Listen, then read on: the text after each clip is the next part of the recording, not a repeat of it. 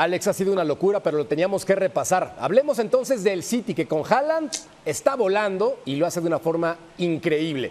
¿Este equipo finalmente ya puede ser candidato a ser campeón de la Champions o todavía tenemos que ponerle signos de interrogación?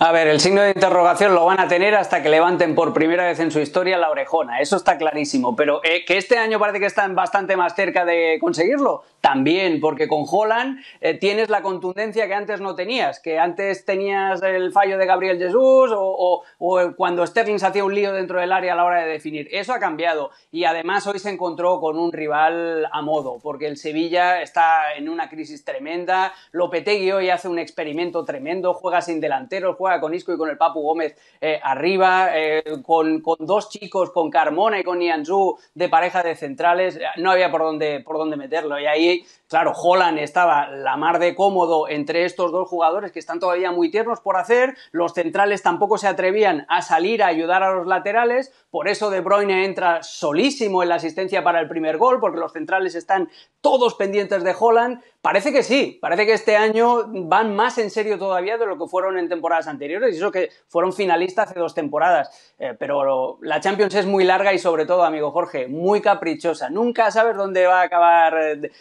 saliéndote la sorpresa. Totalmente de acuerdo. Ahora estamos en un relevo generacional en esta Champions. Ya vimos a Haaland luciendo, siendo un futbolista implacable, pero también Mbappé.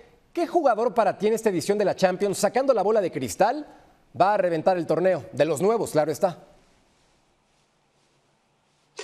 Uf, yo te diría Mbappé, porque Holland es muy bueno, pero es un Terminator eh, y, tiene esa capacidad para finalizar. Pero Mbappé, eh, los primeros 20 minutos del partido de Mbappé hoy contra la Juventus son, son tremendos. O sea, con una superioridad, no solamente física, como es en el caso de Holland, sino también técnica, la capacidad de, cambio de ritmo, conduciendo la pelota que tiene Mbappé. Yo es lo más parecido que he visto en mi vida a Ronaldo eh, el brasileño, a Ronaldo el gordo, cuando estaba bien en, bien en forma, porque tiene esa capacidad física que hace que parece que esté jugando con niños en vez de con adultos y con adultos ya talluditos, como es el caso de Bonucci, por ejemplo. Hoy dio un auténtico recital. Otra cosa es que te guste más o menos cómo juega el Paris Saint-Germain, que me parece que es vergonzoso, cinco defensas, dos centrocampistas y ni Mbappé, ni Neymar, ni por supuesto Mbappé, ahora que es el amo prácticamente del club, defienden, me parece que es eh, jugársela toda la carta de la calidad de los tres de arriba, pero es que son tan buenos que en chispazos individuales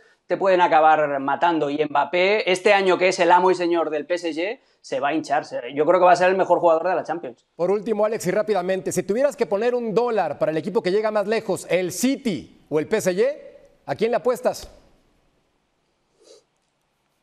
Ya sabes que yo soy como el camión de la sal, eh, que pronosticando soy muy malo, ¿eh? Pues voy a pronosticar el Paris Saint Germain, a ver si hay un poco de, eh, psicología inversa y le doy un poquito de buena suerte al Manchester City, porque si tengo que elegir entre dos de los petrodólares, prefiero elegir al club que hace las cosas bien y que intenta jugar bien al fútbol, al club arrogante y que solo colecciona cromos. O sea que me temo que va a llegar más lejos el Paris Saint-Germain, pero a mí me gustaría que llegara más lejos el City.